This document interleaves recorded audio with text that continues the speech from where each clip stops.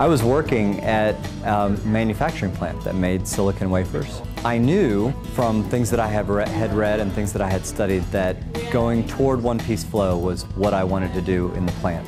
So I created this simulation. I took the uh, processing times for each of the machines that we had in the plant and each of the departments that we had um, and had them and scaled them down so that I could create a simulation that would take uh, you know, minutes or hours instead of taking days or weeks and, um, and then got them in a boardroom and showed them the demonstration, had them actually participate.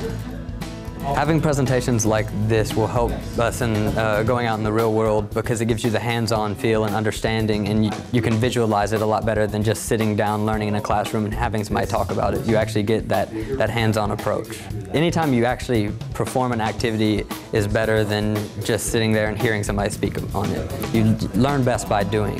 One of the things we learned in the demonstration today was how you can, by reducing the batch size, you can cut down on a lot of your scrap and uh, be able to find problems a lot quicker. And it uh, showed that even though traditional view of mass production isn't necessarily the right way and that lean practices are actually much better um, in affecting everything in the process, even down to your bottom line and profitability. It's important to know supply chain if you're going into business because it's how you make your products, it affects how you do things in your company, even if you're in accounting or finance in your department. How you uh, move your paperwork through the department. It makes things more efficient, uh, the quality is great, and these are great things for business. The benefits to holding demonstrations like this for uh, business students in general is just that it can help us as busy people uh, help us organize our life and see how we can make ourselves more simpler and even more efficient uh, as we go out into the workforce.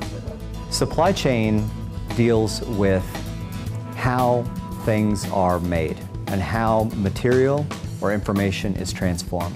So this not only applies, most people think of supply chain as dealing with, um, dealing with manufacturing, and it definitely does, where you have raw materials that come in one side of a plant, uh, you do some stuff to that material, and then you ship it out the door as a finished product. But it also applies to services where you're taking information, uh, information from people, and transforming that information into a different form uh, that gives them more information or allows them to do things in their business. So uh, supply chain is really about uh, implementing uh, the ideas that that we come up with in, in management, we come up with in the business school.